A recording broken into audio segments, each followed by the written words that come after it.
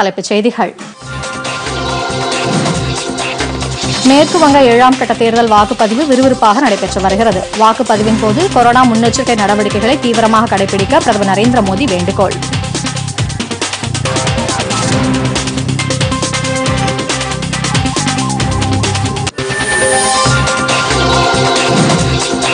மாநிலங்களுக்கான தடுப்பூசியில் ஐம்பது சதவீதத்தை மத்திய அரசு தொடர்ந்து கட்டணமில்லாமல் வழங்கும் மத்திய சுகாதாரத்துறை அமைச்சர் ஹர்ஷ்வர்தன்.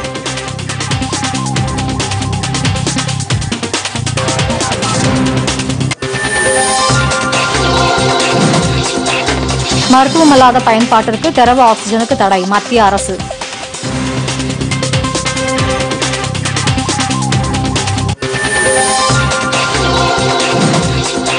தூத்துக்குடி ஸ்டெர்லைட் ஆலையை ஆக்ஸிஜன் உற்பத்திக்காக திறக்கலாம். முதலமைச்சர் எடப்பாடி பழனிசாமி தலைமையில் நடைபெற்ற அனைத்துக் கட்சி கூட்டத்தில் முடிவு.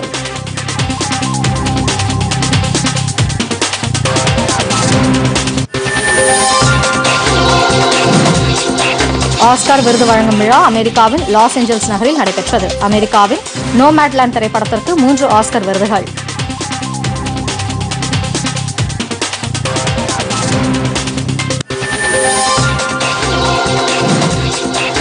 உலகக்கோப்பை வில்வித்தை தொடரில் இந்தியா அபாரம். தங்கப்பதக்கம் வென்றது மகளிரணி